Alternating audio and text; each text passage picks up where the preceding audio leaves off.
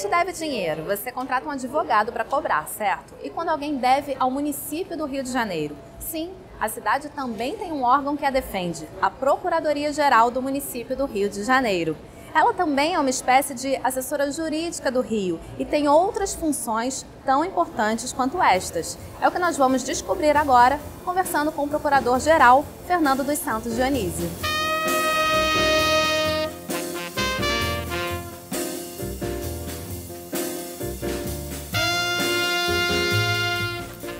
Olá, tudo, tudo bem? bem? Prazer. Prazer meu.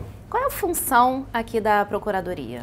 A Procuradoria, na verdade, é o órgão do município que é responsável não só pelo, pela defesa dos interesses do município, mas também pelo controle da legalidade de todos os atos praticados pela administração. O município é o representante legal do ente, município do Rio de Janeiro, e representa tanto o Poder Executivo como o Poder Legislativo, o Tribunal de Contas em todas as suas atividades no que se refere às questões jurídicas. E vocês defendem também outros órgãos do município?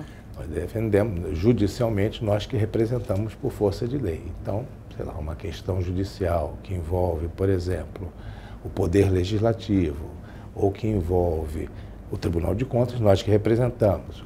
Ou representamos também as autarquias municipais. Então, por exemplo, o Preve Rio, que é o nosso ou FUNPREV, que são os nossos fundos de pensão, né?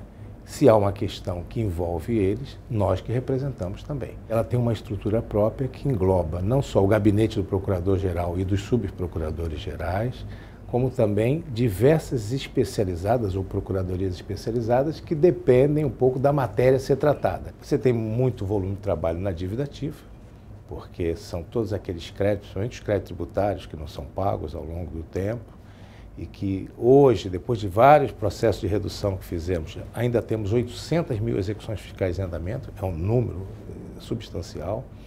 Nós temos uma procuradoria também de, por exemplo, de urbanismo e meio ambiente, que, que lida muito com todas essas questões, que é uma questão moderna, mas que se apresenta muito forte na parte de urbanismo, de meio ambiente, de todas essas questões que envolvem a cidade como um todo.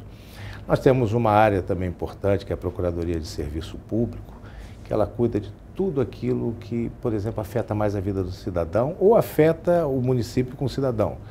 Tipo, questões de remédio, questões de, de, é, de saúde, questões de escola, ou uma eventual disputa ou uma discordância entre um ente da federação, o município e a União, o município e o Estado. Então é uma procuradoria que também tem um volume de trabalho grande. Será que o senhor me apresenta algumas dessas Sim, procuradorias? Com prazer. Se quiser ir lá, vamos, vamos lá, lá visitar algumas. Então vamos.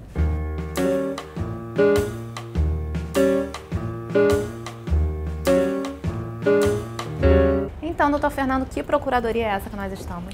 Como te falei, nós temos várias especializadas. Essa aqui é a Procuradoria de Patrimônio e Desapropriações. É, tem uma missão extremamente relevante, porque cuida não só de todas as questões envolvendo o patrimônio do município, mas especialmente as desapropriações, que nesta atual administração teve um papel muito importante. Foram desapropriados mais de 4 mil imóveis. Pra, é um número grande, porque você teve projetos grandes tipo Transoeste, Transcarioca, Transolímpica e diversos outros projetos pela cidade. Como é que a Procuradoria se estruturou para isso e é estruturada para isso? Primeiro, nós temos um corpo técnico aqui dentro de engenheiros, arquitetos, que a própria Procuradoria avalia o bem a ser expropriado, o imóvel a ser expropriado. Né? Depois que é feita essa avaliação, isso vai para uma comissão de quatro secretarias que aprova essa avaliação ou não.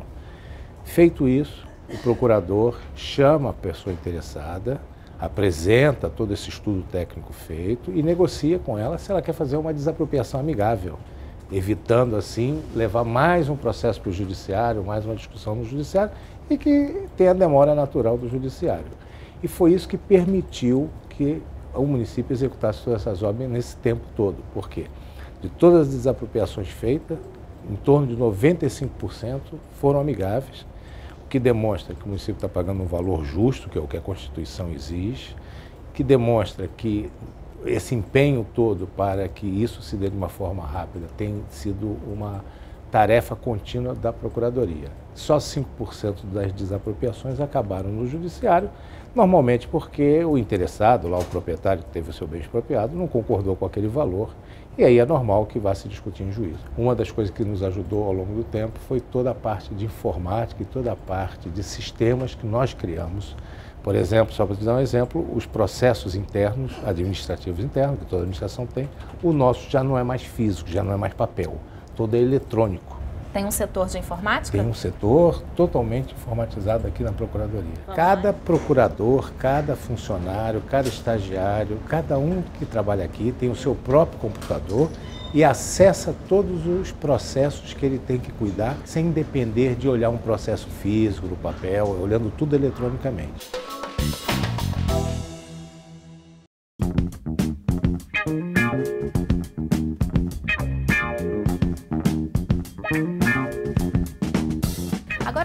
Outra procuradoria especializada da dívida ativa. Quando a gente deve um imposto, IPTU, por exemplo, o processo pode vir parar aqui. Imagina a quantidade de trabalho por aqui, né, doutor Antônio? Bastante trabalho. A Procuradoria de Dívida Ativa é o setor da Procuradoria que mais tem processos, é, consequentemente, é que mais tem servidores. São cerca de 850 mil execuções fiscais. Nós contamos com uma estrutura de cerca de 40, 140 servidores. São quatro andares só nesse prédio central fora outros cinco postos de atendimento é, para que os contribuintes que não pagam uh, as suas dívidas em dia uh, possam uh, ser, serão cobrados e possam também ser atendidos com o objetivo de regularizar a sua situação fiscal. E de que forma é feita essa cobrança? Vocês mandam carta para a residência? Como é que ela é feita? Sim, normalmente quando o crédito é inscrito em dívida ativa, nós fazemos uma, uma cobrança que nós chamamos de cobrança amigável, ou seja, antes de propor a execução fiscal, nós damos a chance ao contribuinte de regularizar a sua situação.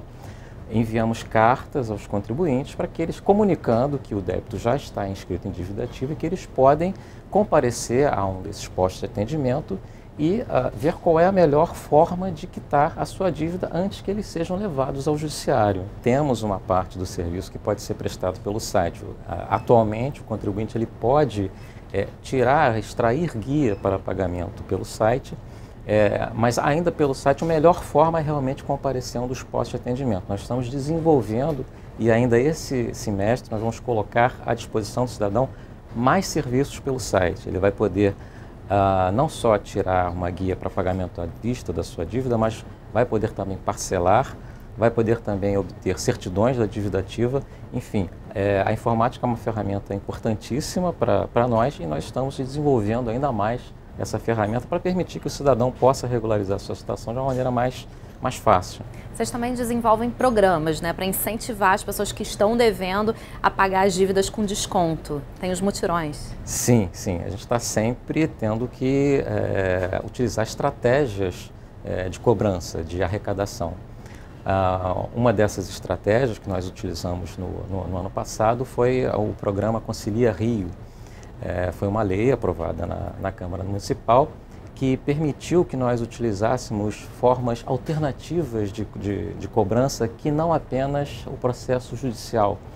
É? Hoje parcelamento? Em dia, sim, parcelamento também, mas esse programa ele permitiu que nós fizéssemos uma espécie de negociação, de conciliação com o contribuinte. Deu uma margem para que a Procuradoria pudesse oferecer ao contribuinte, facilitar ao contribuinte a, a negociar a sua dívida e equa, eh, equacionar os, seus, os seus débitos.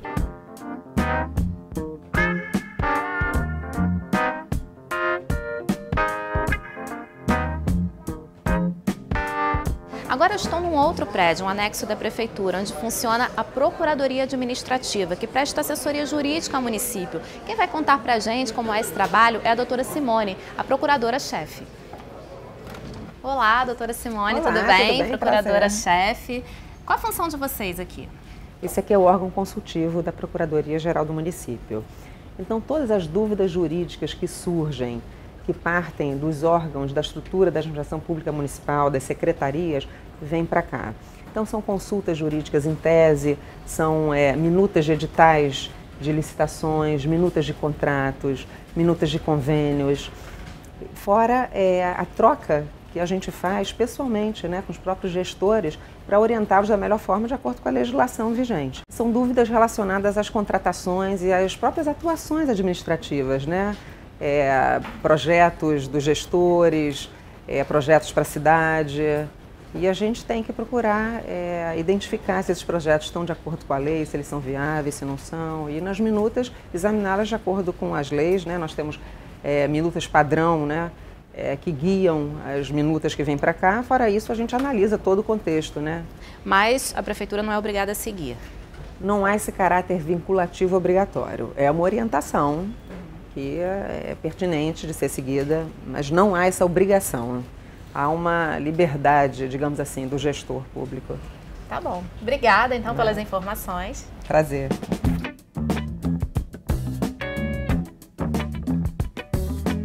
Nesse programa, você conheceu as muitas funções da Procuradoria-Geral do município e como esse órgão ajuda na engrenagem da máquina que está por trás de uma cidade como o Rio de Janeiro. Até a próxima!